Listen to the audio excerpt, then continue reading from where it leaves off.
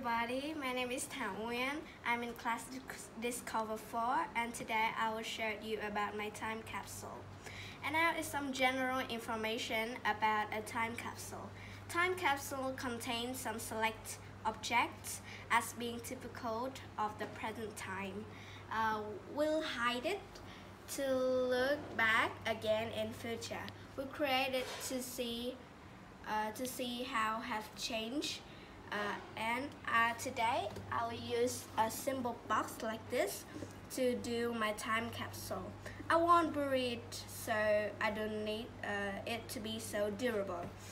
And the first item I want to put in is my um, old glasses.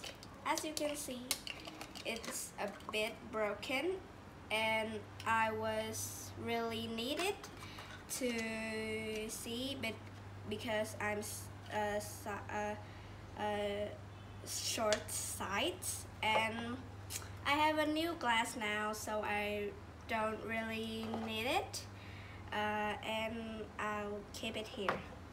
And the next item is my uh, my picture.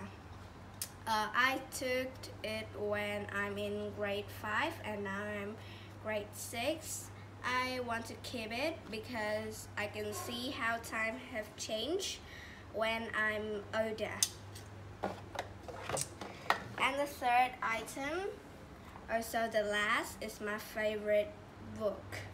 Uh, I want to keep it to read it in few more years and uh, now I'm I'm really enjoyable when I'm read it and I want to keep it back later and read it again. And that's all about my time capsule. I'll keep it about for five years. Uh, five years and as you can see I have a note here. I will take my marker and write it down. Don't open to until um 20 and 2025 okay. Yeah.